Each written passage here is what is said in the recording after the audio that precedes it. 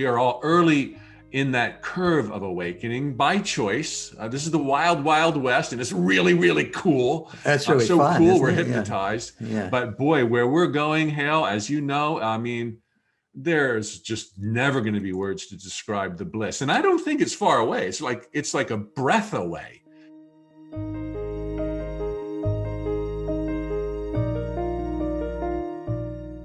Welcome to Letting Go and the Greatest Secret, where we explore the end of suffering and the beginning of lasting happiness.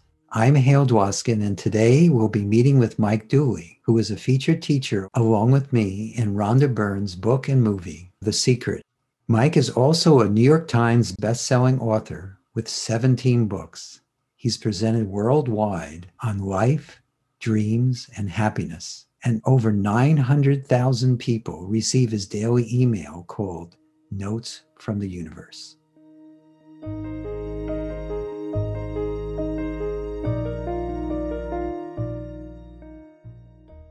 Let's just start out. How do you see the secret and the greatest secret supporting each other, complementing each other, uh, ha- compared to each other? How would you describe that? I think the secret, um, as fabulous as it was and is, um, is just the beginning. And you know, and for the whatever 92 minutes of its existence, I mean, I don't think it could possibly be any better than it is. But there wasn't the opportunity to put legs under the table. Right. And I think moving towards the greatest secret, now we are addressing the divine, God, or infinite awareness, as Rhonda calls it. Now we are understanding that time, space, and matter are illusions. Now we're understanding that all is supremely well. Now we're understanding that being of God, by God, pure God, we had to choose to come here. And however muddy it gets, it was from the zenith of our brilliance and majesty that we made the choice to dive down here. And so we can at least know we knew what we were doing and we wouldn't have come here uh, if it wouldn't be inside the heart of God, Hale, if you want to put it that way. I know Rhonda says it's happening inside of divine awareness or infinite awareness. I totally agree. This book just lit me up because it's all about what I've been eating, sleeping, and breathing lately. And if you will, permit me to ramble a little, and, and I'll Oh, ramble, ramble on. sure. Uh, there's there's a distinction, I think, between awareness uh, and waking up. You know, the awakening of the planet, the age of Aquarius, versus total, full-on enlightenment, self-realization. Um, waking up, you start realizing you're a spiritual being. Waking up, you understand um, that there's way more going on than the physical senses could even show you. It's like microscopic compared to reality, so to speak. Um, awakening, you finally start getting traction and it's enough to live a rocking joyful life. I mean that's it. We don't we don't have to figure it all out. We just need to kind of get the truth. And by awakening and understanding that our thoughts become things uh, and that there is this secret a law of attraction anybody can have do or be anything else but rhonda is so on point uh, and as are you. Congratulations by the way. The book is absolutely fabulous. Thank you. that that there is further to go and and that that further distance um, eclipses by a, a million billion miles the joy that the secret can bring. And, and as all the eastern schools speak of uh, what awaits us when we finally blend with total truth is an unimaginable ecstasy constant not an emotional joy. An emotional joy all emotions you know are pivoting off of our perspectives our beliefs um, you know where we are at any given point in the sea of circumstances. But an ecstasy well i i'm not there quite quite yet even though i'm in the heart of god right now we all are i'm still partaking of the original forbidden fruit um, and so ecstasy is the new carrot on the end of a stick that leads me forward every day in the work I do. I'm still a teacher of truth. Uh, I'm, I'm waking up and helping other people wake up. But I now know, as much as I know the sky is blue, that uh, that ecstasy awaits all of us in the arc of our conscious evolution, and we are all early in that curve of awakening by choice. Uh, this is the wild, wild west, and it's really, really cool. That's really uh, so fun, cool. We're it? hypnotized. Yeah. yeah. But boy, where we're going, Hale, as you know, I mean, there's just never going to be words to describe the bliss, and I don't think it's far away. It's like it's like a breath away. But yes. the, you know, the trick is getting there, and with the prevailing vibration on the planet rising at breakneck speeds, chronicled um, by all of the ancient holy books, uh, including the Mayans and the, the 2012. I mean, the, amazing how they could tune into this, but they were tuned into truth millennia ago, and they hit hit it right on the button. This is the time that we're moving from the darkness into the light. So, what a right. cool time to be alive! This is, Hale. It's really cool, and uh, people people sometimes get confused because they think well, two things about what you said. First off, I think people sometimes get confused between having that amazing initial glimpse of truth and they make that into something really special and important whereas they don't realize that's what's natural and we're the more we can let that be natural in our everyday experience the more we're building a foundation, so to speak. It doesn't really need a foundation, but the more it opens up more and more into our consciousness, and and because it is our basic nature, this that we that we start to taste, it naturally expands upon itself. Actually, that's not correct. It, it doesn't expand, but our awareness of it expands upon itself, as yeah. long as we don't get in the way. So that's one thing I wanted to say in, in relationship. Would you agree with that? Oh, totally agree. And I find it almost torturous to realize that what you just described is our natural state and that literally we go unnatural at the at the strike of dawn every single day when we get out of bed. Just a like, little breath. Stop it. Stop doing that to yourself. Don't bite into these illusions as if they're reality. You know, stay on the other side. But I don't think of it as a fall from grace. I, I don't like that biblical characterization. It's like it's all bad. I, I kind of think, and I wonder what you think, that this is kind of part of the terrain and would have been anticipated by divine intelligence that you know okay there's going to there's going to be this immersion of the divine inside of the creation of the divine that's going to be so captivating um, that for we will momentarily forget who we really are before we regain and then have eternity. And so right now we're in that little kind of tiny little bubble. It seems like eternity, even if it's 10 million years, it's it's it's nothing. Um, but here we are in that tiny little bubble, and, and as pioneers of consciousness into this new realm of the jungles of time and space, these benevolent, sacred jungles of time and space, uh, so that legions behind us can come and, and, and enjoy it the way we will ultimately enjoy it. I think it's yes. intoxicating. And back to your question, yeah, it's our natural state. And I, I personally am not aware of anybody. Uh, who's been there, but it's not really for me to judge. I do agree that many folks um, sharing awesome mystical experiences, of which I have had a f- tiny few, um, may may not realize that there's so much more. Uh, it wasn't just they had a gift that gave them a new idea. It's like pure ecstasy awaits all.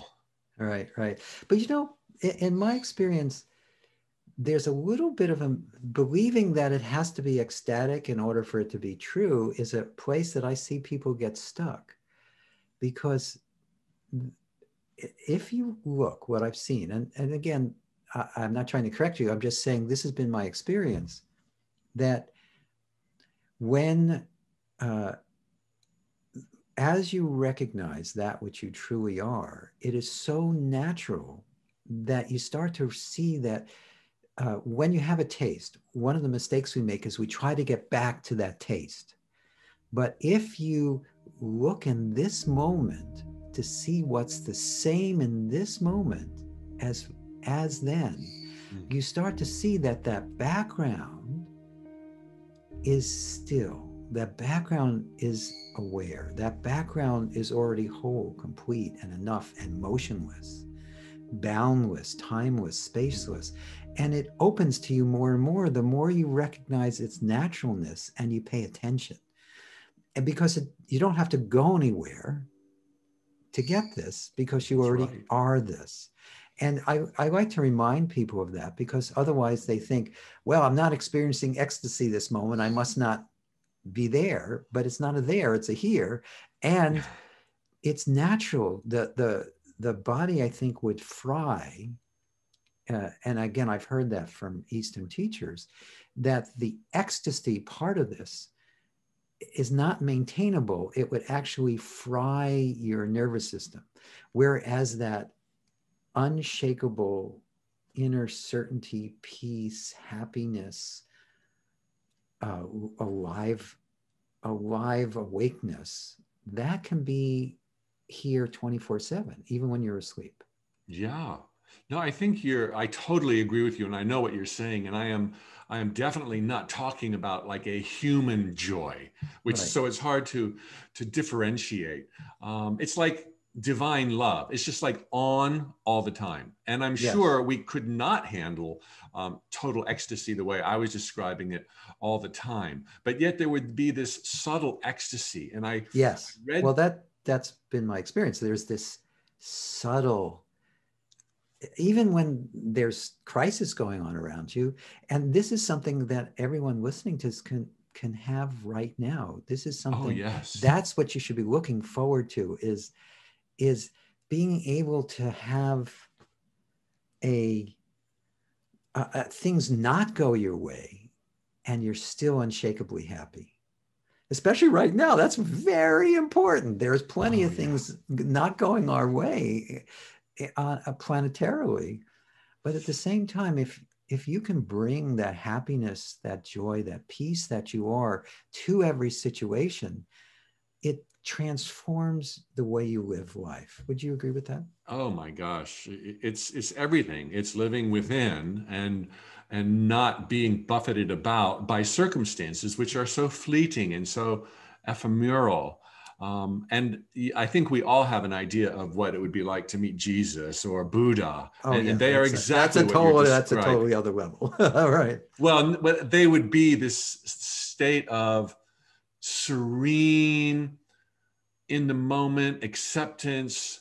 Uh, uh I would still say a subtle bliss, but it wouldn't show up like, oh boy, am I happy today. Right, I right. read something uh, um, in the Bible, and I'm not a Bible reader. I'm not uh-huh. religious in any way, shape, or form. I think spirituality is a different thing than religion but there was a passage in the Bible. I think I read this in Autobiography of a Yogi, which you must certainly be familiar with. Oh, very. It was one of the that, first spiritual books I ever read. Yeah. Oh, yeah. I only read it at 13 months ago, and that's what lit me oh, up. Oh, yeah. Oh. Well, it lit me up as a teenager. so there's this part as they're talking about enlightenment self-realization and, and, as you know the book references the bible a lot but within a slightly different take on the, the underlying meaning which is so profoundly more useful than our right. typical mainstream interpretation of the, the bible.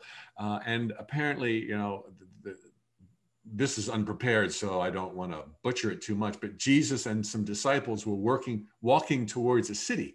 And there was a bunch of you know you know, really crazed fans. Like hallelujah praise the lord jesus is walking amongst us. And some of his disciples were really put off by this overt display of enthusiasm. And they were like you know jesus you know shouldn't you shouldn't you temper them? Shouldn't you tone them down? And jesus said something to the effect and this is biblical scripture said if i were to tone them down then even the rocks beneath their feet would sing out in praise. And this is a this was saying this this ecstasy which is so not the right word but there is no word that's going to come close to it. Certainly not an emotion. This vibration of just like of bliss of serenity of just I, exists in every vibrating atom every rock, every table, every computer, every moth, every ant, every cell in your body, my body, a listener's body right now is vibrating a supreme bliss. That's our natural natural state. And it's it's not joy, it's not jump up and down, I'm so excited to be alive.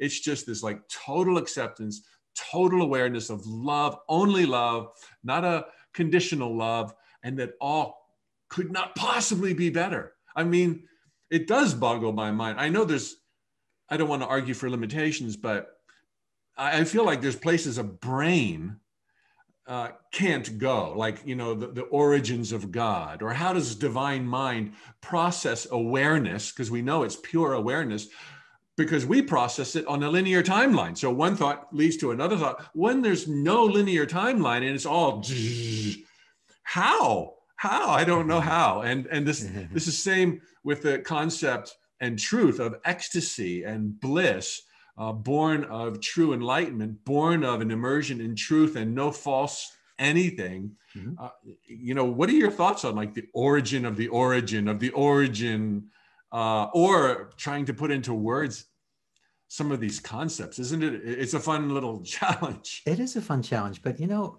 what I, to me, the challenge is, and what I've been exploring since since my teenage years, but certainly since I started doing the Sedona method in in my early 20s, is that the thing I like to explore, just two things I like to explore. One is what am I really that's the most simple, the most natural, the most pure, and that's the same in all. And just like you said, in all in all creation, but also in all human beings, there's something we all share that we don't usually pay attention to. And in, in Rhonda's book, they, he, she describes it as awareness.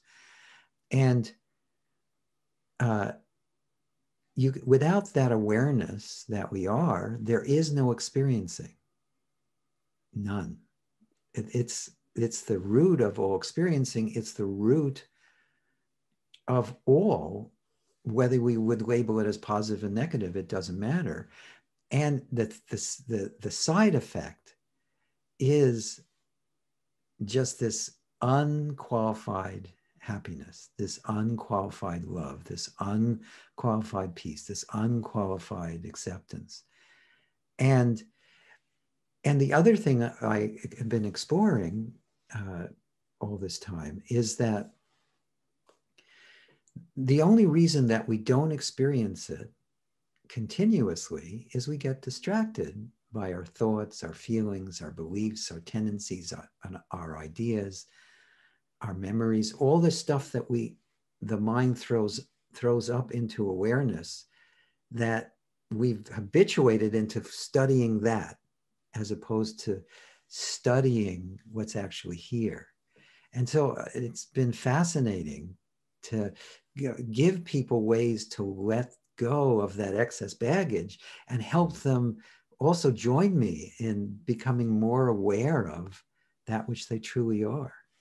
Yeah. So it's it's a lot of fun. It's really a lot of fun, and and it sounds like you've been doing a similar thing. Oh yeah, I, I've I've been aware of the the legs that needed to be put under the table, uh, and not not in reference to the secret, but just to paint as full a picture and as convincing a picture to my readers or my audiences um, as possible. And so I've got some meditations, I've got some guided visualizations, I've got things like that as well, because because you said it, you know, we're, we're hypnotized, we're distracted. Um, that pulls us out of truth we believe things that aren't true. We think circumstances or life are happening to us, not realizing we're happening to to life. Right, uh, we came first, and um, and so boom, Bob's your uncle, and you know we've got lions and tigers and bears. Right. I love you're so enthusiastic, and I love the way you express things. It's it's very creative, very creative. Well, thank you, thank you. Yeah. Hey, um, you uh, do you have an exploration that we can do and share with uh, uh, the people listening? Yeah, I do. I do. Okay, um, so before we before we do that, uh, we're going to take a quick break, uh, and then we'll come back and we'll do this exploration.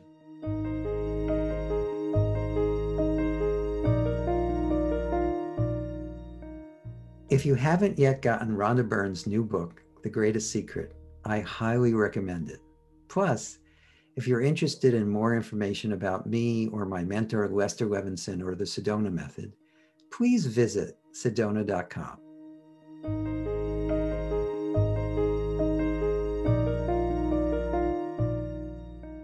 So, welcome back, everyone. And uh, let's enjoy the process we're about to be taking through. I can't wait. Sure, sure. This is going to be fun for me too. I call this being inside of the moment. Mm. So I'd like to, to ask those listening right now to just relax, a couple of deep breaths, take it easy, in and out. And then with your eyes open, uh, I'm assuming you have vision. If not, whatever faculty suits you the best, I want you to absorb and take in your surroundings. I want you to notice colors, colors out the window, colors on the wall. Uh, I want you to notice objects on your desk, on the floor, textures, vibrancy. Do you have plants near you? Just soak in visually absolutely everything that's around you. Go ahead and do that.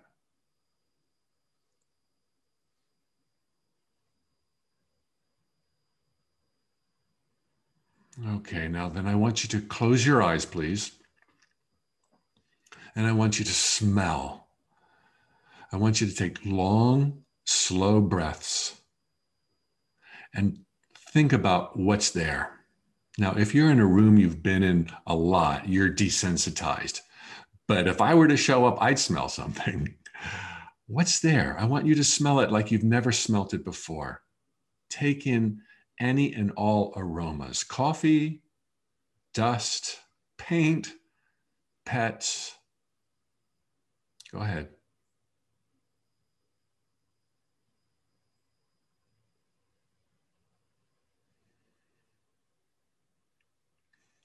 And now listen.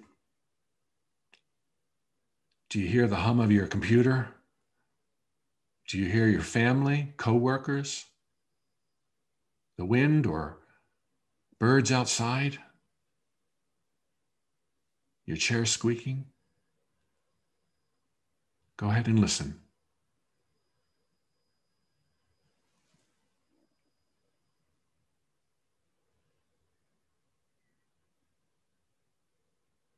And now I want you to feel. Feel from your toes to your nose, above and in between. What's there? Relax. Relax your muscles, all of them. Just feel them easing up, loosening up. Can you feel the clothes on your back? your pants, your shoes, any other physical sensations. Just for a moment, feel.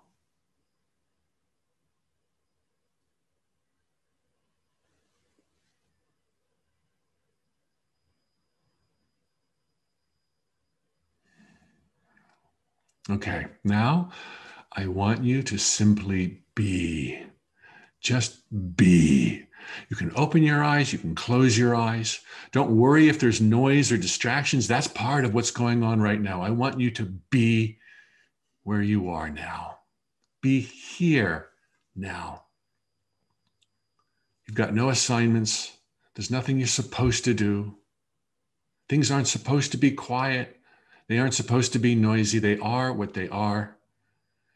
Be in this moment this precious, fleeting, eternal moment.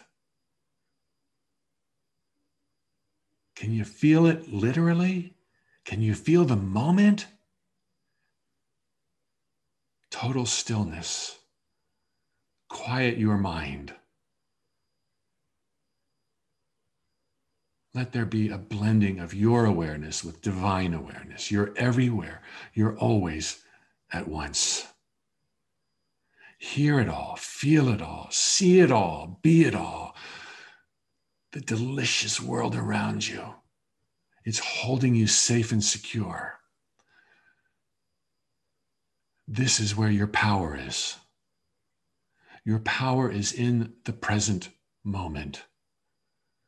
Be there, feel it, pulsing, calm, easy.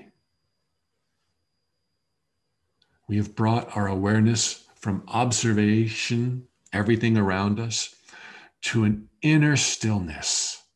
This inner stillness is always there. It's who you really are pure awareness, totally divine. Go here in times of trouble. Return to this place.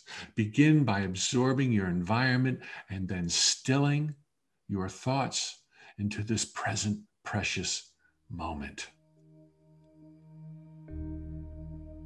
It's always there. You're always loved. It's always easy. You saw how we did it together.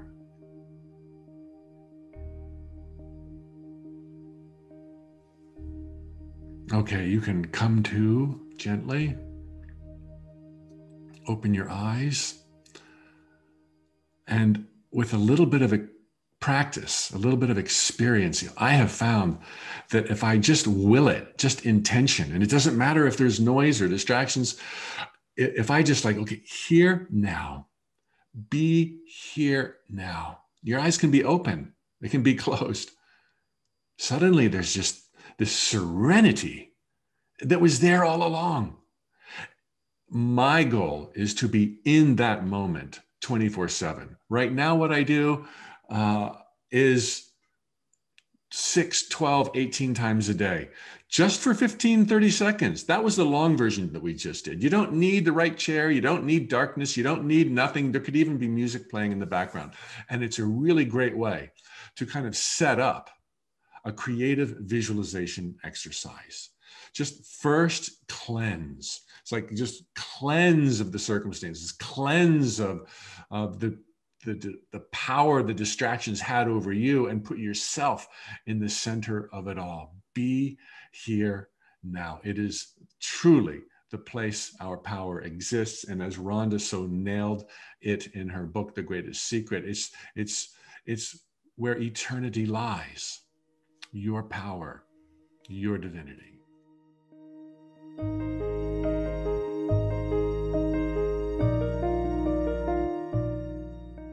As Rhonda put it, that we are awareness, and everyone is the same awareness.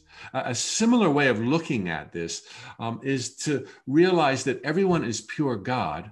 God is pouring through us the same quality and dispensation, if you will. And we, with our personalities and our baggage and our gifts and our blessings, we become lenses, like a prism, if you will. And no two are quite the same.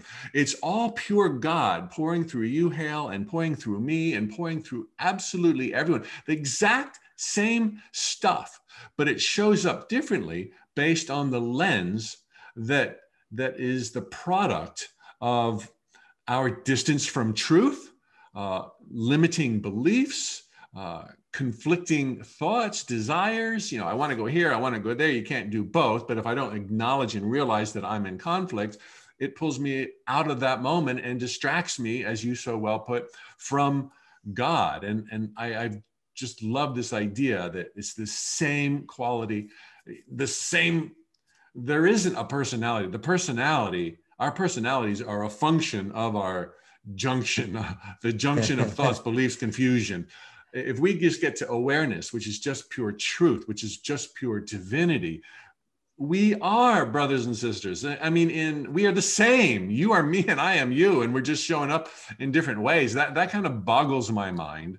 Um, it makes me much less judgmental of other people. Yeah, yeah, it's uh, hard to judge really, when you see yourself up. in them. Yeah, yeah. So I wanted to share that.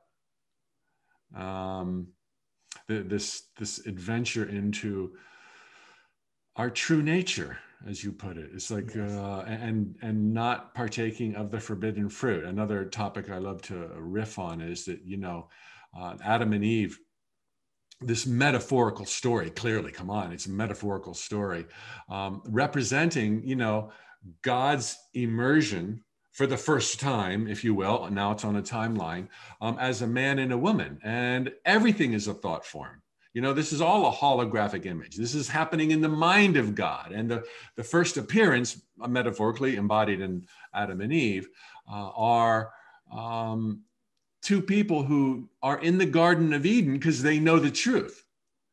Um, but it's so captivating and it's so distracting. And that apple is so red, and the aroma, nothing like it in eternity. Um, I, I bet you I bet you if you bit into that thing, fireworks, man, crazy fireworks. What a bum bogus rap that Eve is supposedly the one who tempted the man. That's a bunch of crap. Uh, it's just two two divine beings in the Garden of Eden, um, and and temptation. Oh, call it the snake, call it whatever, but just don't call it a woman. That's not fair at all. Um, they, they they got curious, and so taking what is truly known to them to be a holographic, fake, illusionary mind projection of an apple and biting into it. The tipping point was reached. They fell head over heels into like, this is amazing. And now there's a banana and now there's a pineapple and like, oh my God, it's all here for us.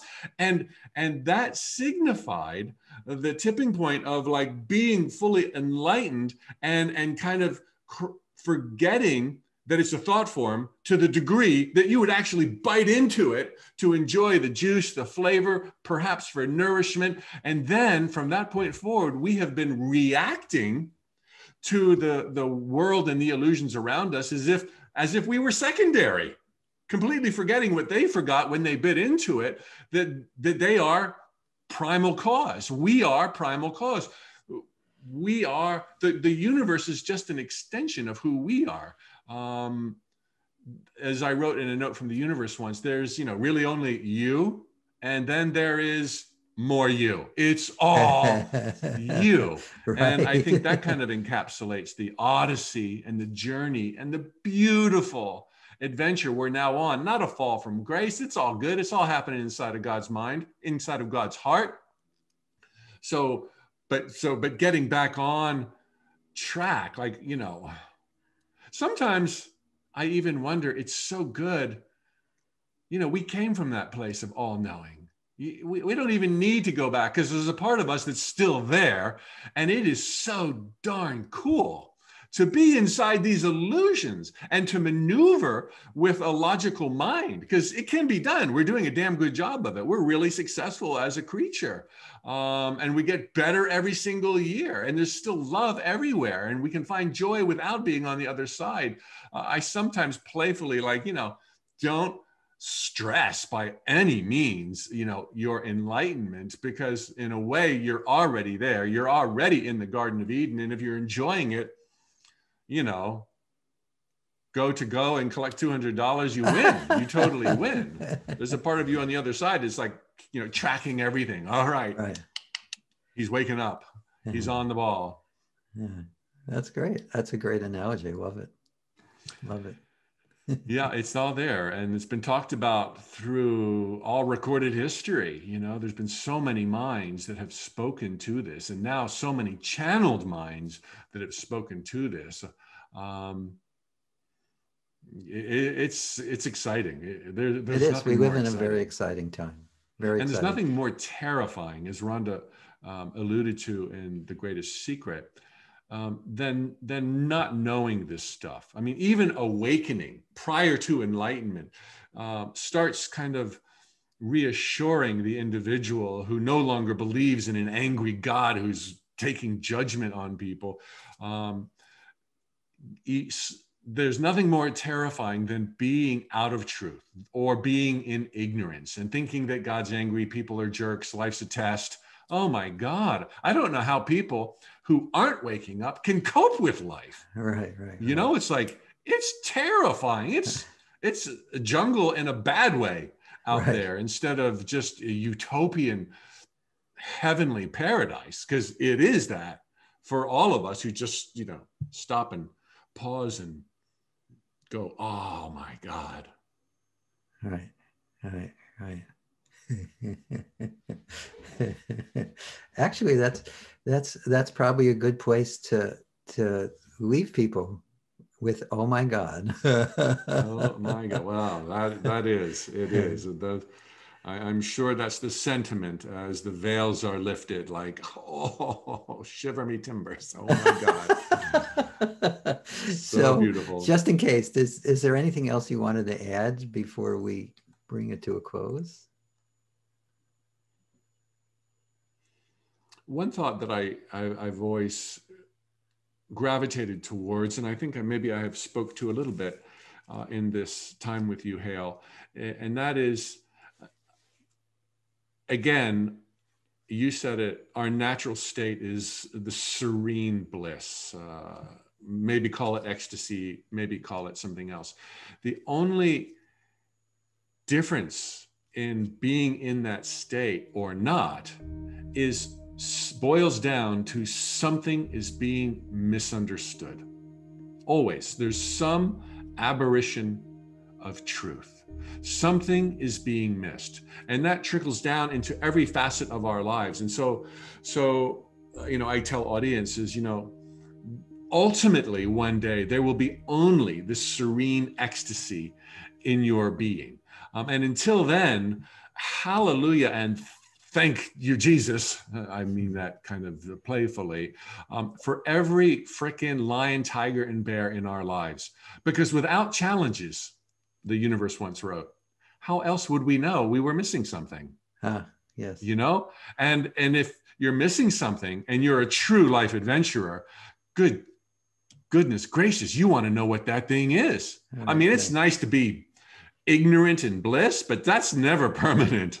You know, you're going down. and so if you realize that every little hiccup, um, setback, you know, and too often people judge uh, experiences to be a setback, but but every every time you feel an unpleasant emotion, it's because you're missing something.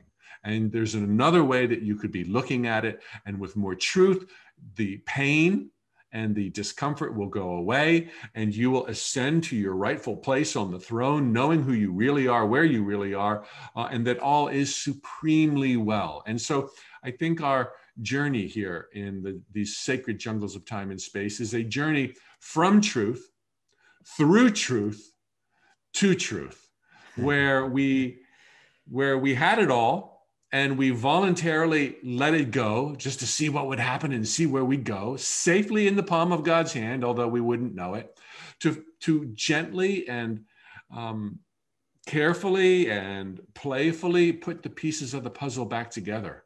And even before the puzzle gets put back together, there's infinite room for joy and happiness and deliberate manifestations using the law of attraction and all those other things. It's like, wow, wow I constantly think, and this is like, you know, uh, not impressive, but I constantly just in, in awe of the mind boggling scope of the nature of the physical universe. Uh, and there's, and I know nothing of the physical universe, only other than what my physical senses tell me. But the physical senses tell me that there's 100 million species on planet Earth.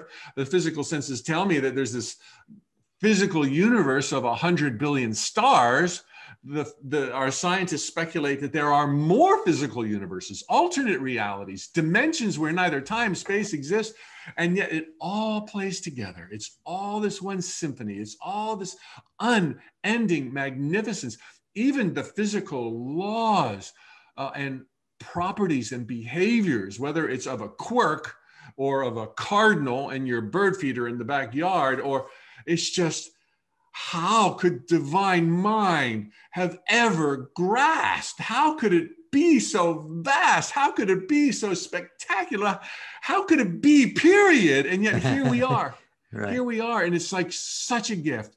And it's so amazing. And it's so exciting. And it's eternal. And it's forever. And we don't have to do anything other than just be like there, be here now to taste and drink from this, this fountain of youth and beauty. And it's just so, so beautiful and so wonderful. And there's, there's like only good and there's nothing bad. And the good just scratches the surface. There's so much more. It's like, that's something to think about during your next visualization, next meditation. Uh, yeah, that's wonderful. perfect. Perfect. Well, I thank you so much, Hale, for this opportunity. It's been an honor. You're a legend. Uh, my hat's off to you. Um, and uh, keep on shining your light and helping all of us with your piercing insights and your love. It's it's really remarkable.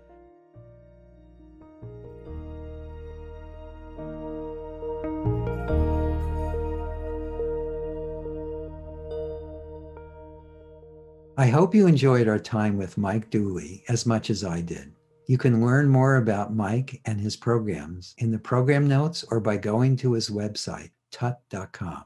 That's T U T.com. If you've enjoyed this podcast, please subscribe, give us a five star rating, and share it with the people you care about. These episodes are dedicated to sharing the eternal teachings from the greatest secret.